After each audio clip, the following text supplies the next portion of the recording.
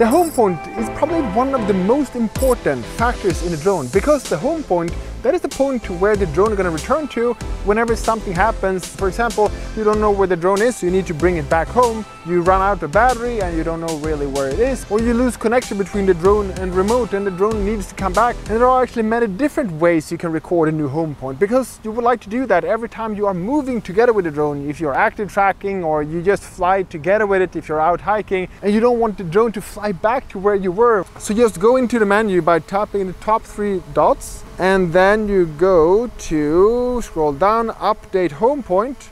And here we have two different options that are visible but there are actually three different options.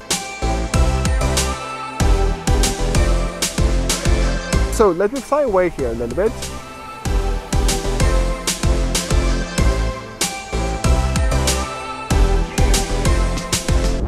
First one that is if we tap the button on top here.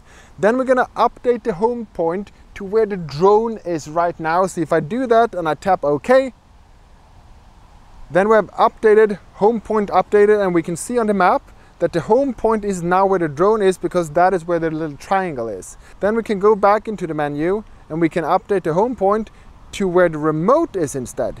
Now we updated the home point to be where the remote is. So now the drone is going to fly back here. The third one, that is if you go back to the same option in the menu, update home point, then you can drag the map to say that, hey, my home point is where I'm going and I'm going to that position, update, and there we get the new home point there instead. And that is how easy we update the home point. The next thing we're gonna do, that is to see each other in that video.